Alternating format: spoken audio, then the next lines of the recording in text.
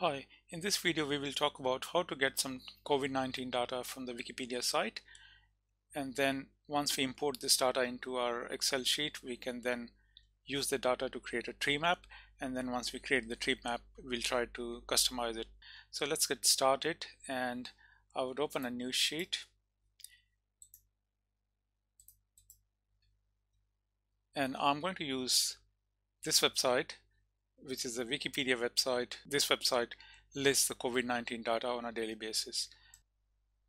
For example, you can see the latest date as of so this this website contains the data as of 19 December and gets changed every day. So I'll just copy this URL. So I'll copy and then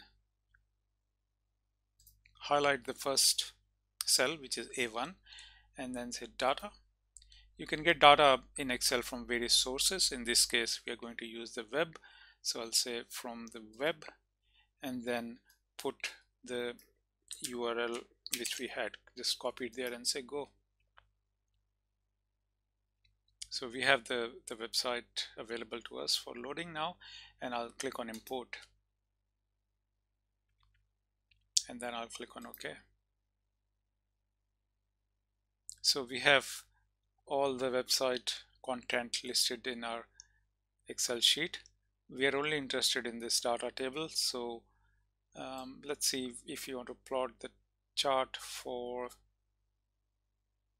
these few countries or all the countries. We'll just select few countries and then once we select or highlight the countries and the number of cases which we want to use, I'll say insert recommended charts all charts and then click on the tree map.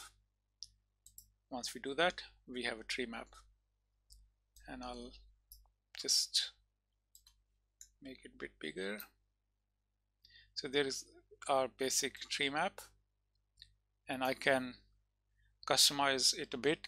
So the main customization which I want to do is uh, uh, to show the numbers of the cases which we have and then also want to get rid of the the legends because the name of the countries are already shown there. There's no point in having a, a legend up at the, the top as well. So I'll just go to add chart titles go to data labels and I want to see the data labels. And what what do we want to see in the data labels? We want to see the category name which is already there and then we want to see the value as well. So you can see the value has come up next to the the country name and is separated by a comma. But let's do it on the next line. So I'll say new line. So you have two lines there now. The first one represents the country. The second one represents the number. So that's looking good. And then we can also go to add chart elements again. And I want to get rid of the legend at the top and I'll say none. And with that we have the basic chart available to us. So I'll give it a name COVID-19 tree map in Excel. I hope you found this information useful and simple to use in, in your um, daily practice. And uh, thank you very much for watching it and I'll see you in the next one.